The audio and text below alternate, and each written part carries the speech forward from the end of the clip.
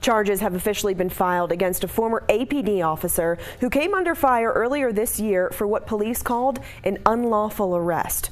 Kenneth Skeens lost his job back in February because of a confrontation with a shoplifter at an Albuquerque Target. According to APD, the department fired Skeens because there was no reason to arrest that man and Skeens reportedly used force. Prosecutors later dropped the charges against that shopper after he was deemed incompetent.